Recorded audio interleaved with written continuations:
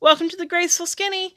We've got a fun book find for you, and this time it is a almost Halloween, so it's time to start getting into it. So let's get into this one. It's called Spookley the Square Pumpkin.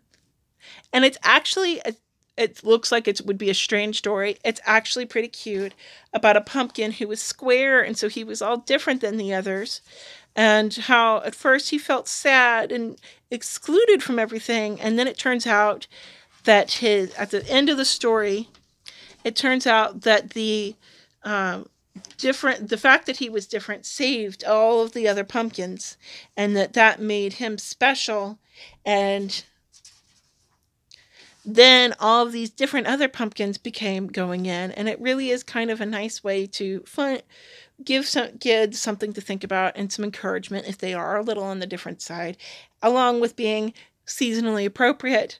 And if you're one of those that's leery about Halloween or the spooky stuff, it's not anything that uh, it, it could just be considered a fall book as just as much as it could be a Halloween book itself as well. So I really, really do enjoy it. Um, it's one of our favorite um, Halloween books. You can see that this one's actually one that we own. Um, and my daughter has actually been looking forward to reading it, so she'll get to read that soon, uh, much to her excitement.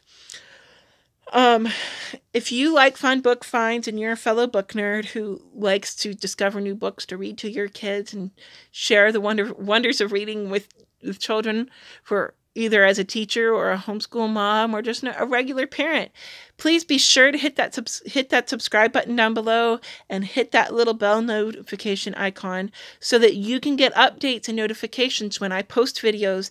And I post fun book finds as often as I can. And I often well there's a, I also post curriculum reviews for homeschooling curriculum. And I do homeschool updates where I post about how we're doing with our school year and how I feel things are going and how we like the curriculum that we have been using. Um, I I like to post on Wednesday. I always try to post on Wednesdays, and sometimes I am able to do well enough that I get a bonus video on Fridays out as well.